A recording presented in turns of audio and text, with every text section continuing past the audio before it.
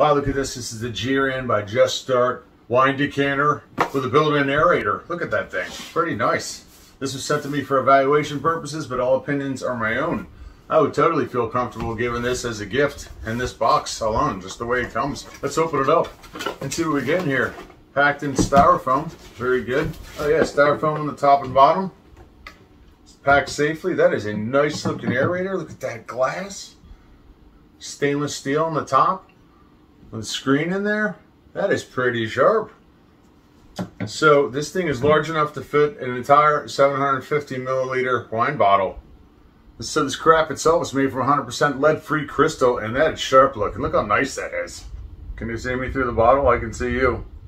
That is pretty nice. So this carafe has a double layered filter inside of there that helps you filter out the impurities when you pour the wine into the carafe. You're basically going to pour the wine right through this double screens and it's going to enter the carafe and aerate itself. And it takes about three to five minutes for the aeration to take place. It's got a nice silicone ring on here that provides a, a, great, it actually fits in there really nice. It's, it's easy enough to take out, but it's you got to apply a little pressure to it. So it's the perfect seal for this. Very nice, very nice. Gosh, this is some handiwork and craftsmanship on this. I really like this. This will look great on the dinner table or anywhere. It's got a nice narrow neck on it, good for pouring. It's got this waterfall neck design, so when you pour the wine in, it spreads the wine out 360 degrees all over the decanter. I can't wait to see what that looks like. That's going to be cool. So apparently, when you pour the wine in through the front to filter the impurities, when you pour it out, it comes out along this inner layer here to, again, double filter the impurities after it aerates. Pretty awesome. Can't wait to take a look. Let's test this thing out.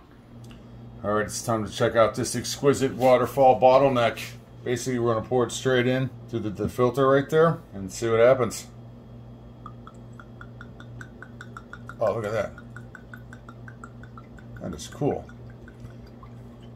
It's basically when the wine comes in contact with oxygen, that's when the wine will develop its aromas. This is what we mean when we say that the wine wakes up.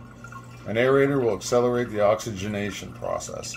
And here we're putting a whole entire 750 milliliter bottle into here and then we're going to let it aerate for three to five minutes and it should be good to go.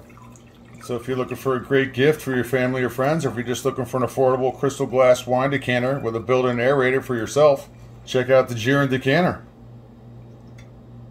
Check it out.